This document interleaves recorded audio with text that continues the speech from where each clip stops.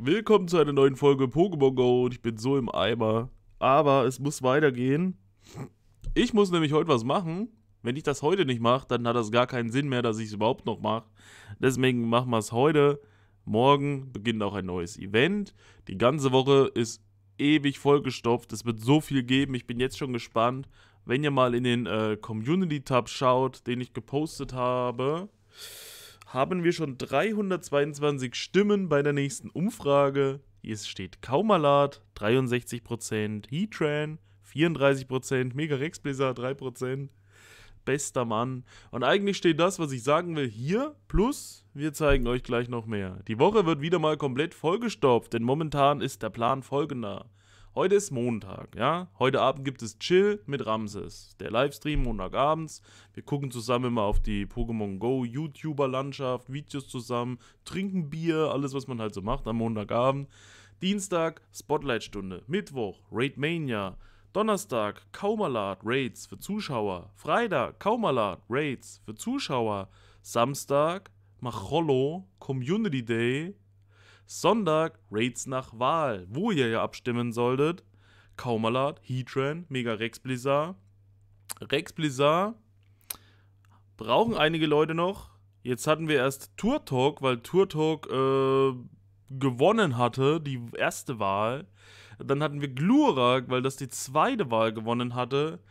Rex Blizzard haben wir jetzt noch nicht gemacht. Ich wollte eigentlich Rex Blizzard auch mal machen. Jetzt hat es diese Woche nicht gepasst, weil Kaumalat kommt ja ab morgen in die Raids.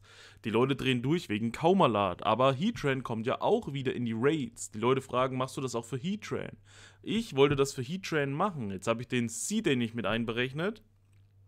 Und Kaumalat wird Heatran wahrscheinlich komplett verdrängen. Ich möchte euch jetzt aber erstmal, während wir weiter erzählen, noch das neueste Shiny-Update geben. Es waren jetzt in letzter Zeit wieder ein paar Events. Ich habe wieder fleißig gesammelt, habe wieder fleißig getradet, habe ge, äh, geduggert, wie auch immer. Wenn wir jetzt auf Schillernd gehen, habe ich aktuell jetzt 1260 schillernde Pokémon. Jetzt muss ich mal gucken, wie weit ich beim letzten Mal war mit entwickeln und machen und tun. Geronimatz, genau. Beim letzten Mal Geronimatz aus den Raids und auch ein Shiny Waschagwil entwickelt. Leider Lucky. Da brauche ich also unbedingt noch eins. Und ja, die anderen Sachen. Pet haben wir durchentwickelt. Die ganzen Kostümierten haben wir durchentwickelt. Es würde also weitergehen mit, wenn ich das gerade richtig sehe, mit den Neujahrs-Event-Pokémon, also Pikachu. Habt ihr ein Pikachu bekommen im Neujahrs-Event? Schreibt's mal rein. Jetzt muss man gucken, 347, wo das zweite ist. Das zweite hier hat 702. Ich entwickle natürlich wieder das höchste. So. Um nochmal auf den Plan direkt einzugehen, wir wollen ja versuchen, euch mehr mit einzubinden, euch auch mehr Gewalt über den Kanal und den Inhalt äh, zu geben. Äh, Gerade in letzter Zeit Raids für Zuschauer kommen sehr gut an immer wenn der neue Raid-Boss kam, wir haben zwar den Discord-Server bereitgestellt und die Telegram-Gruppe bereitgestellt, damit ihr euch da verabreden könnt für Raids. Ich mache mein Community-Raid meist täglich, wo ich auch Leute einlade, aber das reicht natürlich alles noch nicht. Jetzt haben wir hier das Neujahrs Raichu mit Hut, wir haben das Neujahrs Pichu mit Hut in Shiny und wir haben das Neujahrs Pikachu mit Hut in Shiny. Das ist auf jeden Fall eine gute Sache. Was noch wichtig war, seht ihr hier, nämlich Phlegmon. Das Phlegmon in Shiny mit Brille braucht man auch zwei Stück, weil eins muss man ja entwickeln wieder zu Lamus mit Brille. Mit 2021er Brille aber, was wir auch jetzt machen wollen. Kostümierte Shinies, ihr wisst Bescheid. Ähm, ich habe eh gesagt, Januar wird vollgestopft, weil jeden Dienstag der 5er Raid Boss wechselt. Ho-Oh hat richtig reingehauen. Äh, Genesect war etwas bescheiden, muss ich sagen. Meistens haben die Leute sich eins gegönnt und hatten dann die Nase voll damit, weil es eben nicht shiny sein kann und weil es auch an sich nicht stark ist. Bei Heatran ist wieder was anderes, erreicht relativ gute IV, ist ein cooles Pokémon an sich, äh, kann shiny sein. Aber mal ernsthaft, Heatran hat erst vor kurzer Zeit drei Raid-Stunden gehabt, war noch gar nicht so lang, äh, ist noch gar nicht so lang her, dass das da war. Heatran ist eigentlich ja auch ausgelutscht, trotzdem wäre es das erste Mal, dass wir Raids für Zuschauer mit Heatran anbieten. Hm, leider weiß ich nicht, ob ich das einhalten kann, weil wir Kaumalat äh, so, so sehr wichten, ja. Serpifoy haben wir hier auch. Serpifoy war auch jetzt von der äh, Einheilwoche natürlich dabei. Serpifoy brauchte man ein paar. Wir nehmen mal das. Das ist das kleinste. Das kleinste lassen wir so, wie es ist. Serpifoy, das mittlere, machen wir eine Entwicklung. Das große machen wir zwei Entwicklungen, damit das alles abgeschlossen ist. Der Plan steht im Prinzip im Community-Tab. Jetzt mache ich dieses Video, wo wir noch ein bisschen drüber reden. Äh, heute Abend chill mit Ramses. Montag ist also komplett abgesichert. Dienstag. Ich werde Dienstag um 11 Uhr, sobald das erste Heat-Train aufgeht, trotzdem einen Heat-Train Community Raid im Community Tab ankündigen. Für die Leute, die Bock haben, weil ich ja auch Video mache, im Video dabei zu sein, schaut auf den Community Tab. Es wird am Dienstag ab 11 Uhr, je nachdem wann eins aufgeht, ein Heat-Train Community Raid geben. Ebenfalls Dienstag, aber auch die Spotlight-Stunde 18 Uhr im Stream. Ihr habt also heute ein Video und abends ein Stream. Ihr habt am Dienstag dann ein Video, nämlich den Heatran Raid und abends einen Stream. Mittwoch habt ihr ein Video, da ist ja Raid am Mittwoch mit euren Zuschauereinsendungen und alles und abends die Raid Mania, also wieder ein Video und ein Stream. Jetzt haben wir hier das Evoserb, was wir natürlich noch zu Serpi Royal weiterentwickeln. Es ist jetzt schon brutal. Meistens ist zum Ende der Woche es immer ruhiger geworden. Donnerstag, Freitag, Samstag, Sonntag war alles ruhig. Durch Raids für Zuschauer hat sich das natürlich jetzt mega geändert. Da wir ja Samstag, Sonntag immer den aktuellen 5er Raid-Boss streamen wollten und bereitstellen wollten, jeweils Samstag 6 Stunden, Sonntag 6 Stunden für euch, was jetzt Heatran wäre. Ich weiß nicht, ob das aber mit Heatran wirklich aufgeht, wie gesagt. Fakt ist, Montag, Dienstag, Mittwoch ist so, wie ich es gesagt habe. Donnerstag, Freitag werden wir jeweils 18 Uhr eine Stunde lang Kaumalat-Raids für Zuschauer hosten. Wer da dabei sein möchte, Kaumalat, heftiges Pokémon, wer Bonbons braucht, wer gute IV braucht, wer das Shiny braucht. Jeweils eine Stunde Zeit. Donnerstag 18 Uhr, Freitag 18 Uhr. Könnt ihr beides mal mitmachen. Wenn ihr das System noch nicht kennt, schaut es euch einfach mal an. Wer zuerst kommt, mal zuerst, sagt man immer. Trotzdem, alle, die in der Stunde adden, kriegen einen Kaumalat-Raid, manche kriegen auch 3, 4, 5. Haben wir ja bei Praktiball gesehen. Und dann ist ja auch schon Samstag. Samstag ist der Macholos Day. Eigentlich dachte ich, okay, Samstag, Sonntag, Heatrain Raids. Ganz normal, weil Leute auch gefragt haben, machst du auch Heatrain dann? Raids für Zuschauer. Samstag, Macholos Day, könnte ich theoretisch mit meinem Account den Macholos Day machen und mit einem Zweithandy aber nochmal Kaumalat-Raids hosten, falls da Bedarf ist. Also während ich den Z-Day spiele, können wir gleichzeitig den Z-Day-Stream und den Raids für Zuschauer-Stream verbinden und ähm, von 11 bis 17 Uhr auch Kaumalat-Raids hosten. Wenn die anderen Mods da am Zocken sind und keine Zeit haben, ist das nicht schlimm. Da reicht ja ein Account, ihr könnt das ja mit einem Account machen, immer fünf Leute da reinpacken, wunderbar. Hier habe ich jetzt auch Kastatur noch übrig. Ich habe ja schon, als das angekündigt wurde, habe ich nicht gesagt, ja, Einal-Event, sonst was hin und her. Ich habe gleich gesagt, das Kastatur-Event, weil Kastatur ja vermehrt auftreten sollte. Oder auch aus äh, Feldforschungen und so weiter. Und da habe ich drauf gehofft, endlich Shiny Kastatur zu bekommen. Habe jetzt auch zwei Stück bekommen. Hier ein weibliches, hier ein männliches passt. Das ist das höhere von beiden. Das heißt, das werde ich auch jetzt weiterentwickeln. Ihr seht, Angeber steht dran. Besser konnte der Name nicht sein. Der Plan ist also immer noch weiter Samstag Macholo Z-Day zocken, aber gleichzeitig Kaumalat Raids hosten.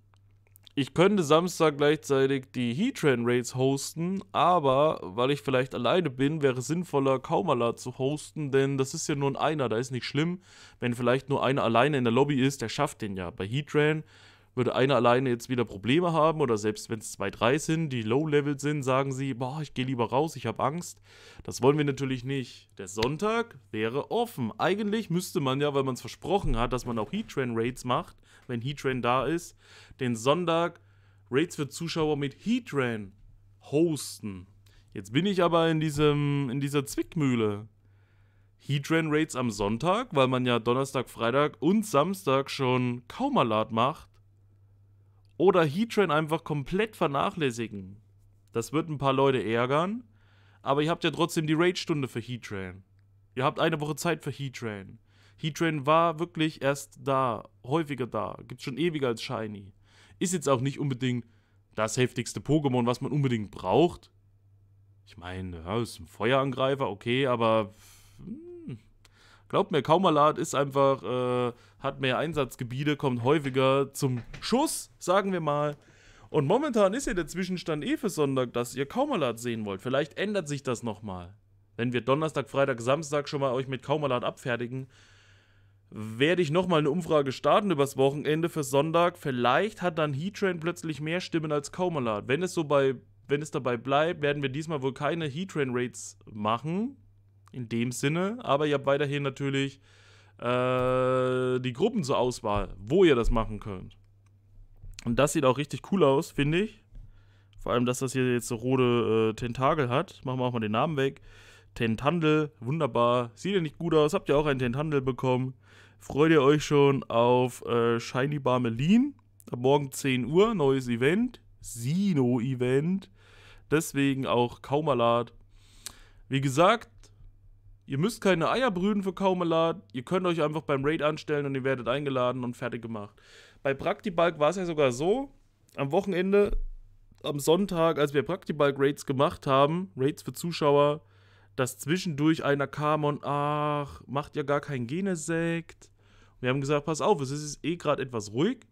Gib fix Code und haben denjenigen, weil der extra explizit nach Genesekt gefragt hat, auch in den Genesekt-Raid vermittelt. Vielleicht kann man das kombinieren bei Kaumalat auch. Man macht Kaumalat, Kaumalat, Kaumalat, Kaumalat. Und wenn einer einen Wunsch hat aus dem Stream, der sagt, ich habe noch gar keinen Heattrain, könnte ich vielleicht einen Heattrain bekommen, dass wir dem einfach einen Heattrain geben. Zack. Aber wenn halt wirklich 90% Kaumalat wollen und 10% Heattrain, weil die 10% noch gar keins haben, vielleicht können wir die 10% im Stream trotzdem mit abfertigen mit Heattrains, aber den Rest einfach Kaumalat raten lassen. Es wird also eine heftige, spannende Woche. Ich bin jetzt schon richtig gehypt. Morgen Community Raid natürlich. Ich habe alles bekommen jetzt, was ich bekommen wollte. Ich habe alle Shinies wieder vollständig. Kastatur hat mir ja gefehlt die ganze Zeit. Jetzt ist es da. Jetzt ist die Sammlung komplett. Kastatur ist am Start, Tendantel ist am Start, die ganze Familie ist am Start. Äh, die Kaumalat Raids werden sicher reinhauen. Und für uns ist es ja eigentlich chillig zu posten, äh, zu hosten, weil es ist nur ein einer. Wir können euch unendlich zur Verfügung stellen und ihr könnt einfach rein und machen. Egal wie viele Leute ihr dann in der Lobby seid. Behaltet den Kanal also mal im Auge. Wer das noch nicht kennt, schaut euch das mal an. Ich glaube, da ist für jeden was dabei. Wir gehen immer auf Wünsche ein. Wir haben auch einfach zwischendurch mal einen Mega Tourdoc dann äh, gehostet, weil dann nachgefragt wurde. Also wenn ihr mit uns redet, wir wissen, was ihr wollt und was ihr braucht, dann können wir uns auch anpassen. Wie sieht's bei euch aus so? Wie fandet ihr die eineinhalb Woche? Freut ihr euch auf das Sino-Event morgen? Freut ihr euch auch auf Kaumalat? Werdet ihr bei Raids für Zuschauer dabei sein bei Kaumalat? Oder habt ihr, braucht ihr kein Kaumalat mehr? Habt ihr, habt ihr schon 600er hochgezogen auf Level 50 und 20 Shinies und so? Schreibt's mal in die Kommentare. Ansonsten ist die Woche eben vollgestopft. Heute Chill mit Ramses, morgen Community Raid, Spotlight-Stunde, Mittwoch, Raider Mittwoch, Raid Mania, Donnerstag, Freitag, Kaumalat Stunde für euch mit Raids. Stellt euch an. Wirklich, wer 18 Uhr direkt da ist, ist auch einer der ersten mit, der eingeladen wird. Wer erst 18.50 Uhr kommt, kann natürlich sein, dass dann noch ein paar Leute vor euch dran sind, weil die sich vor euch einfach angestellt haben.